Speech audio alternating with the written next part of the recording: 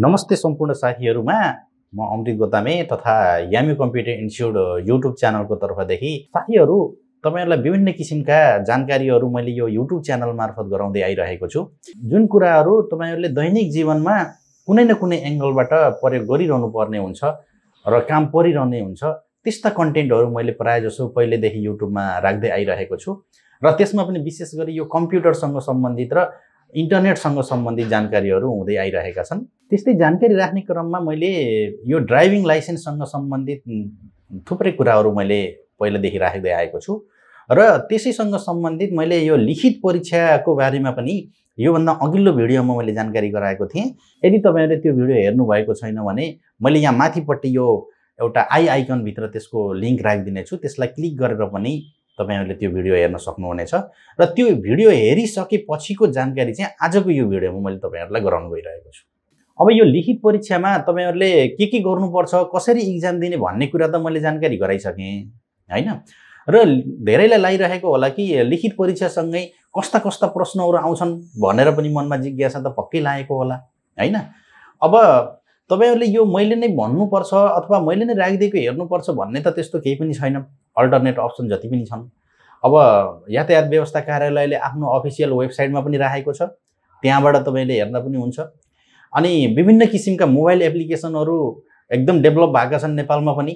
यो ड्राइभिङ लाइसेन्सको लिखित परीक्षासँग सम्बन्धित प्रश्न उत्तरको लागि तिनीहरू डाउनलोड गरेर तपाईँहरूले हेर्दा पनि हुन्छ। र यहाँ यही नै गर्नुपर्छ यही नै एप्स डाउनलोड गर्नुपर्छ भन्ने त्यस्तो केही पनि छैन। अब राम्रो एप्स अब कुनले राम्रो राखेको छ त्यो मजाले डाउनलोड गरेर तपाईँहरूले त्यहीँबाट हेरेर तयारी गर्दा पनि हुन्छ। र विभिन्न किसिमका युट्युब च्यानलहरूमा पनि राखेका होलान्। सायद अब मैले त हेरेको छैन तर तपाईँहरूले युट्युब च्यानलमा लिखित परीक्षाहरूसँग सम्बन्धित ती कन्टेन्टहरू खोजेर त्यताबाट पनि हेर्न सक्नुहुन्छ। यो होइन कि मैले नै राखेको हेर्नुपर्छ भन्ने त्यस्तो केही पनि छैन। मैले कसैलाई पनि त्यस्तो बाध्यकारी कुराहरू चाहिँ मैले गर्दैन। जो साथीहरूले मेरो पहिलेदेखि भिडियो हेर्दै आउनुभएको छ र त्यो भिडियोमा मैले भनेअनुसार गर्दै आफ्नो काम पनि गर्दै आउनुभएको छ उहाँहरूको लागि सजिलो होस् भन्ने उद्देश्यले मैले आजको यो भिडियो बनाएको हो। र आजको यो भिडियोमा मैले चाहिँ त्यो लिखित परीक्षामा सोधिने विभिन्न किसिमका प्रश्नहरू हुन्छन् नि।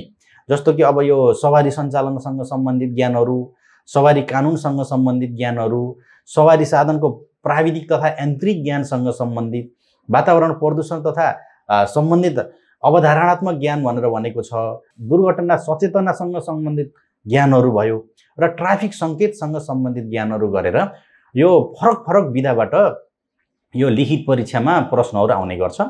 कुन क्षेत्रसँग सम्बन्धित प्रश्नहरू आउँछन् भनेर पनि म तपाईँहरूलाई यहाँ देखाउन चाहन्छु। साथीहरू तपाईँहरूलाई टोटल अब हाम्रो पच्चिसवटा प्रश्नहरू सोधिनेछ यसमा। त्यो पच्चिसवटा प्रश्नहरूमध्ये यो सवारी सञ्चालनसँग सम्बन्धित छवटा प्रश्न सोधिन्छ जसको एउटाको अङ्कबार चार हुन्छ। त्यसको चौबिस पूर्णाङ्कको आउँछ। सवारी कानुनसँग सम्बन्धित ज्ञान हाम्रो पाँचवटा क्वेसनहरू आउँछ। त्यसमा अब प्रत्येकको चार नम्बरको गरेर बिस मार्क्सको हुन्छ टोटल। सवारी साधनको प्राविधिक तथा यान्त्रिक ज्ञानसँग सम्बन्धित तिनवटा क्वेसनहरू आउँछ जसको चार अङ्कको दरले बाह्र नम्बरको आउँछ। वातावरण प्रदूषण सम्बन्धित अवधारणात्मक ज्ञान भनेर भनेको त्योसँग सम्बन्धित दुईवटा आउँछ। दुर्घटना सचेतनासँग सम्बन्धित ज्ञानको लागि तिनवटा प्रश्न आउँछ जुन बाह्र मार्क्सको हुन्छ।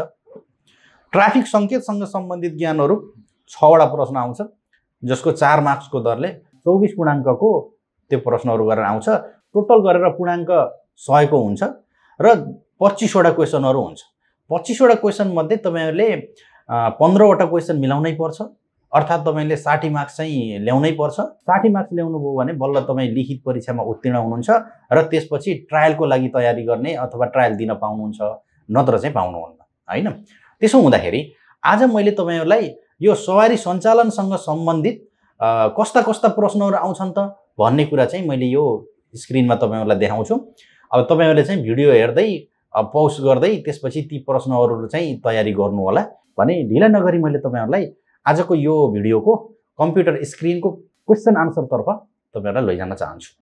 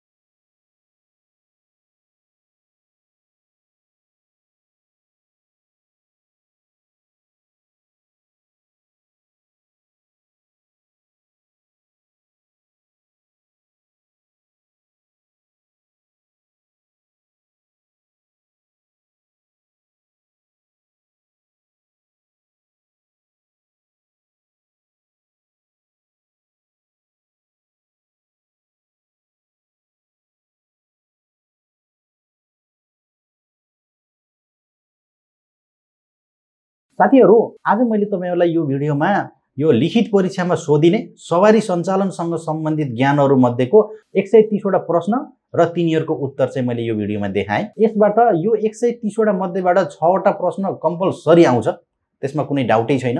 किनकि यो चाहिँ उनी यातायातले नै भनेको छ यिनैहरूबाट सोध्नुपर्ने छ भनेर उनीहरूले नै भनेको छ। त्यसो हुँदा यो एक सय तिसवटा मध्येबाट जुनसुकै पनि आउन सक्छ तर छवटा आउँछ। जुन टोटल चौबिस मार्क्सको हुनेछ अब तपाईँले यो भिडियोलाई हेरेर राम्रोसँग तयारी गरेर जानुभयो भने अब चौबिस मार्क्स त तपाईँहरूलाई आउने नै भयो होइन? र यसपछिको तिनवटा भिडियोमा पनि म कर्मसीसँग गराउने छु र एउटै भिडियोमा जानकारी गराउँदा भिडियो लामो हुन्छ भन्ने हिसाबले मैले यो भिडियो मात्रै कभर गरेको छु। अब कस्तो लाग्यो? राम्रो लाग्यो भने एक लाइक क्लिक गरिदिन नबिर्सनु होला तपाईँहरूले यो भिडियो उपयोगी देख्नुभयो तपाईँहरूले यो काम लाग्ने रहेछ अरूलाई पनि काम लाग्न सक्छ भन्ने लाग्छ भने आफूले प्रयोग गर्ने सोसियल मिडिया प्लेटफर्महरूमा सेयर पनि गरिदिनु होला। र च्यानलमा पहिलोपटक आउनुभएको छ अथवा पहिल्यैदेखि मेरो भिडियोहरू हेरिरहनु भएको छ र च्यानललाई सब्सक्राइब गर्नुभएको छैन भने च्यानललाई सब्सक्राइब गरिदिन नबिर्सनु होला। ताकि यसपछि पनि मैले राख्ने नयाँ नयाँ जानकारीहरू तपाईँहरूलाई अटोमेटिक नोटिफिकेसन मार्फत आउने नै छ जसले गर्दा तपाईँहरूलाई हेर्न सजिलो हुनेछ नयाँ साथीहरूले च्यानललाई सब्सक्राइब गर्नुभएको छैन भने यामी कम्प्युटर इन्स्टिच्युटलाई सर्च गर्नु होला युट्युबमा गएर। त्यहाँ यामी कम्प्युटर इन्स्टिच्युट भनेर देखाउँछ त्यसलाई ओपन गरेर तलपट्टि रहेको सब्सक्राइब भन्ने बटनलाई क्लिक गर्नु होला त्यसलाई क्लिक गरिसकेपछि एउटा बेल आइकन पनि देखिन्छ। त्यो बेल आइकनलाई क्लिक गरिसकेपछि एउटा लिस्ट देखिन्छ। त्यसमा चाहिँ अल भन्ने अप्सनलाई क्लिक गर्नु होला ताकि मैले राखेँ भने कुनै पनि जानकारीहरू तपाईँहरूलाई अटोमेटिक नोटिफिकेसन मार्फत आउनेछ भन्दै। यसपछि छिटै नै अर्को भाग लिएर म तपाईँहरूसँग उपस्थित हुनेछु। तबसम्मको लागि बिदा दिनुहोस्। धन्यवाद। नमस्कार।